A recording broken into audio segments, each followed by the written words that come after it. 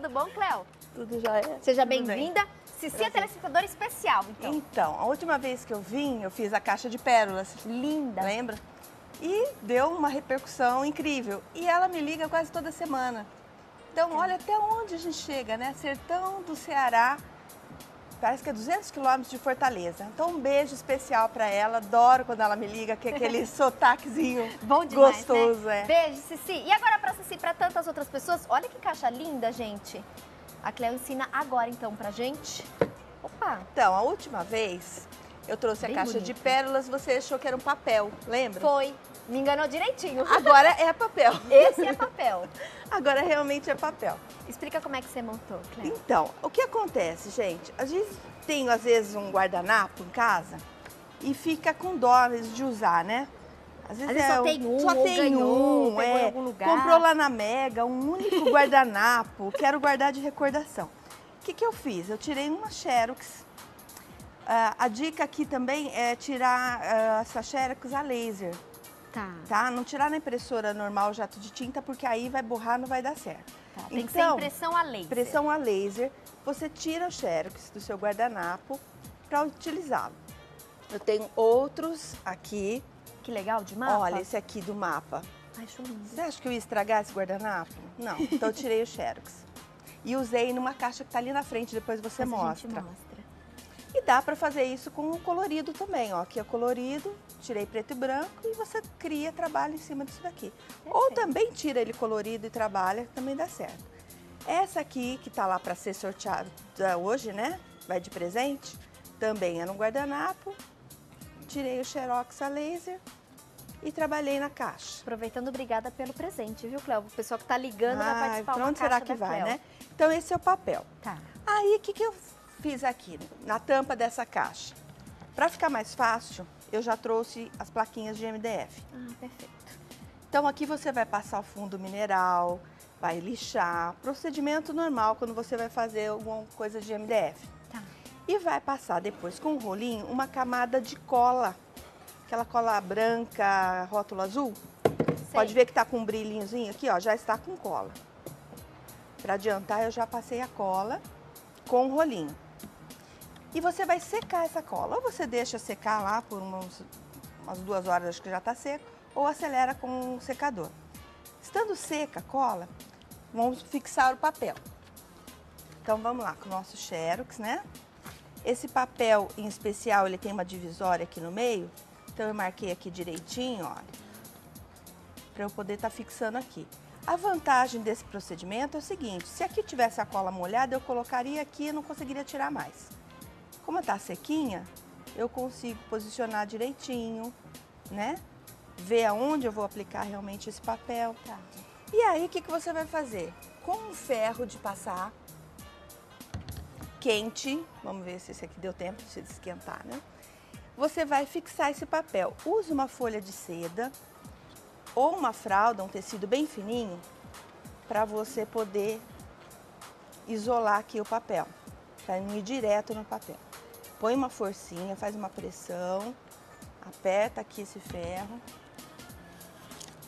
que ele vai fixar, olha, já tá colando aqui, tá? Fez até barulhinho agora, né? Fez, então. É a cola que vai derreter aqui com, a- com o calor do ferro e vai fixar.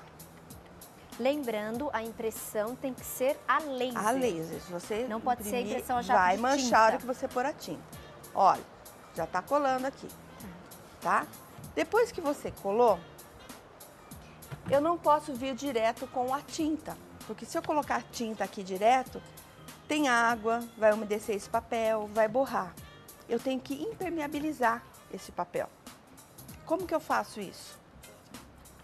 Uma camada, eu usei verniz de concreto aparente. Não sei se dá para fazer com outro, não testei com outro. Qual que é esse, você usa? Chama verniz de concreto aparente. Verniz de concreto aparente. Aparente. Vou pegar um plástico aqui. Porque tem uma dicasinha aqui também. A hora que você passar o verniz, olha, uma camada fininha, bem de leve, esse papel vai enrugar, ele vai fazer umas bolinhas. Caso aconteça isso, que na maioria das vezes acontece, você vem com um plástico e vai tirando essas bolhas aqui. Vai esticando. Pode fazer isso com uma espátula ou com a mão mesmo. Vai alisando.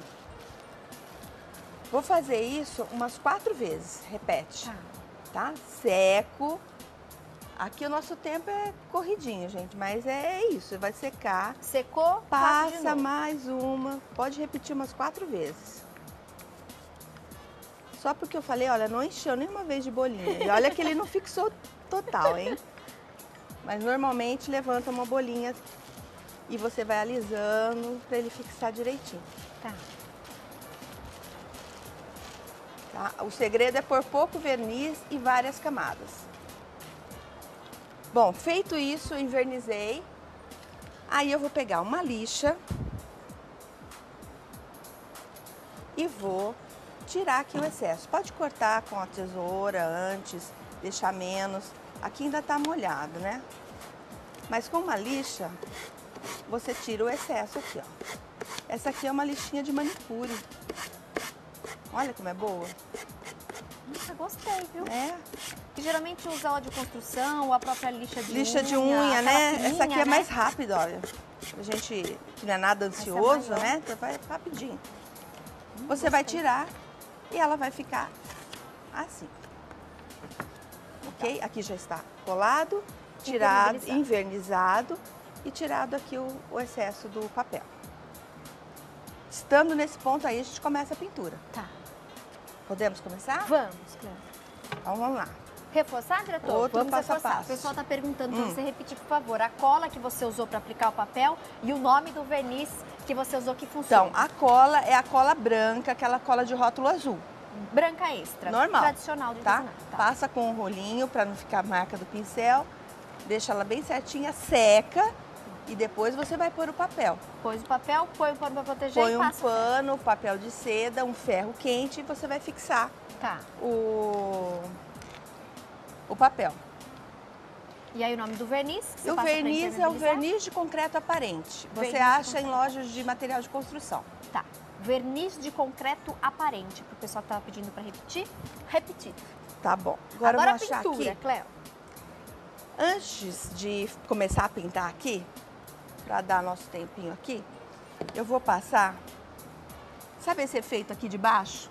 Ficou lindo as listras. Eu vou mostrar para vocês aqui nessa plaquinha como você vai fazer essa parte aqui de baixo. Tá. Com um rolinho, eu vou passar a tinta nesse, nesta parte. E para não pegar aqui no meu papel, isola aqui com sulfite, ó. Passo uma demão rapidinho.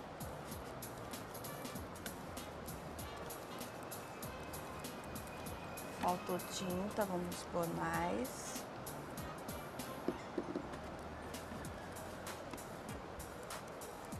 Pintura decorativa sobre o papel.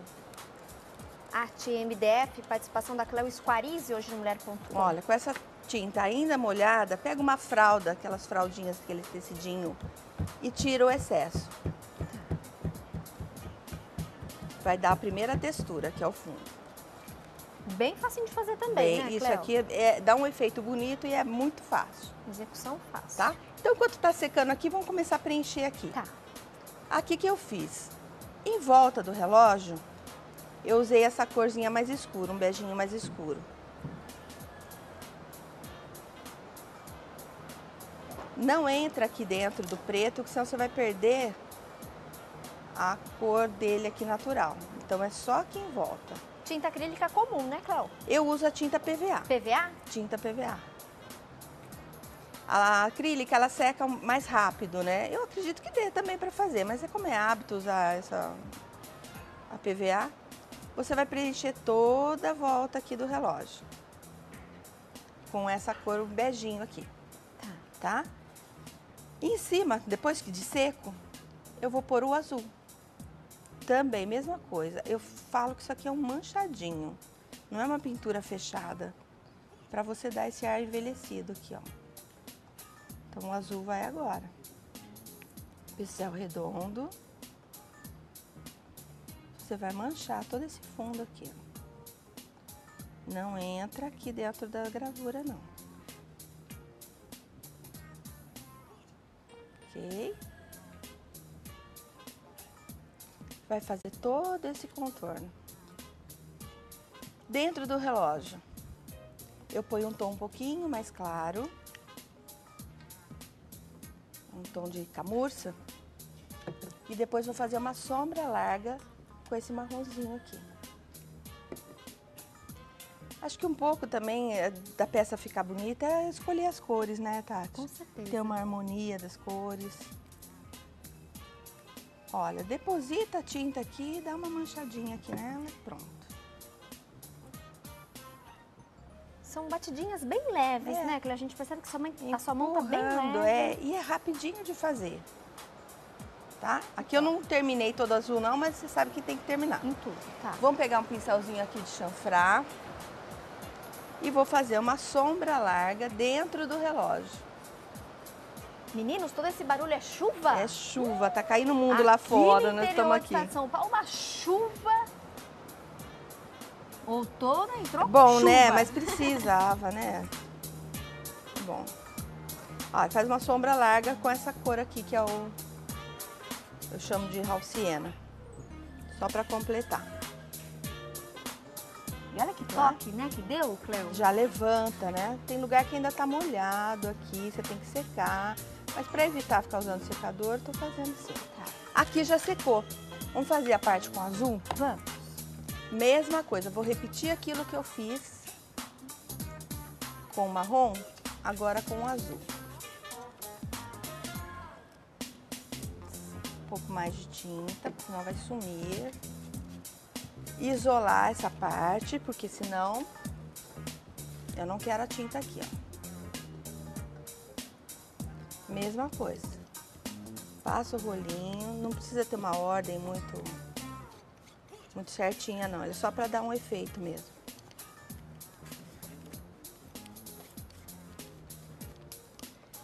Vai mesclar com a cor de baixo. A tinta ainda molhada, não espera secar. Vem com a fralda e bate aqui.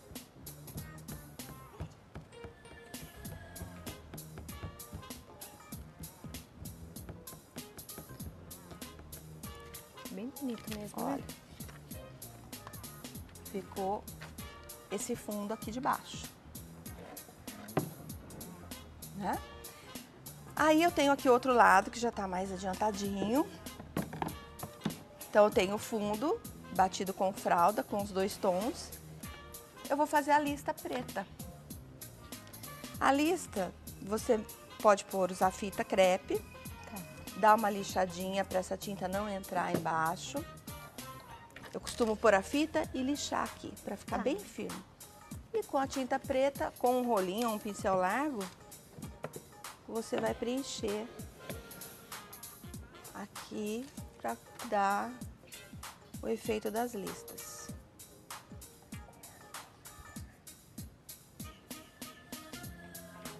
Ok? Vamos tirar? Tcharam! Ai, ai, ai, hein? Agora aquele friozinho na Ai, barriga, ai, né, ai, Cleo? ai, ai, ai. Ah, Ó, espetáculo! espetáculo. Então, tem uma caixa ali embaixo que eu fiz a tampa dessa maneira que eu fiz esse aqui. Metade o relógio e ah, tá metade o bem efeito. aqui, Pedrão, mostra pra gente. Isso. Metade o papel trabalhado e Ficou metade com o efeito que eu usei nessa outra de baixo. Aí, opcional. Se quiser, olha, nessa emenda, você pode pôr uma fita para dar um acabamento, que foi o que eu fiz ali. Isso aqui é tipo uma fivelinha, pode pintar de preto. Pode fazer cores Aqui diferentes também. tem, né? Isso, nessa daí eu coloquei. E aí você pinta aqui de preto, dá um acabamento, pode mudar as cores, criar, Adorei. inventar. Depois e você passa o quê? Porque ela tá verniz de novo. bonita. De novo. O mesmo verniz? O mesmo. Aí ele já nem vai levantar aquela bolinha, não. Ele vai dar brilho, vai dar o acabamento. Ô, Cléo, eu vou pedir pra você repetir de novo esse verniz que você usa, que a gente encontra em loja de material de construção. É o verniz... Verniz de concreto aparente. Legal. Adorei. Pode falar marca? Não, né? Ah, marca não pode. Ah, me liga, manda recadinho. vídeo. É, eu faço dica- tudo direitinho. Não vou esconder, não. Adorei. Ô, Cléo, deixa eu aproveitar e mostrar. Gente, olha que coisa mais fofa pra Páscoa. E a Cléo falou que a hora que eu abrir tem surpresa. Eu vou mostrar pro pessoal de casa. A mesma coisa que eu fiz com o papel, você Hum, pode fazer com tecido. Esse aqui é tecido. Ah, é o tecido colado. É um tecido, um tecido colado. Tcharam! Mesma técnica. Ai, você usou tecido pra embalar. Que Exato. máximo, gente. O mesmo tecido que eu usei na tampa, eu embalei as trufinhas. Que ideia sensacional. Adorei, Cléo. Até como lembrancinha, acho que fica bem, bem legal, né? E aí Mesmo o tecido, Páscoa, né? A gente usa você uma pode estampa. pintar, assim como o papel. Olha esse, Eu pus que um lindo. pouquinho de toque de tinta. também. E que lindo, não? Os tecidos. Ai, dá até dó, né? Um laço tão bonito. E Tem um Olha que tecido mais lindo com o que outro. fica, gente. Fica muito apoiado. E aí você põe o seu bombom, quem faz trufa caseira. Olha que ideia bacana pra presentear. Lindo, lindo. Então, tanto com papel como tecido, a maneira de fazer, o ferro quente, é a mesma coisa. Cléo, muito obrigada pela aula, pelo mimo. Até breve. Até. Arrasou, como sempre. Obrigada. Gente, né? quem quiser rever essa aula, depois é só acessar o nosso portal rs21.com.br. E um beijo, né, para todas que acessam, que ligam, né, e a Muita sua gente, audiência. e a muita gente mandou te dar um beijo. Beijo em dobro pra vocês. Bora pra mais uma pausa, porque na sequência eu volto com outras atrações.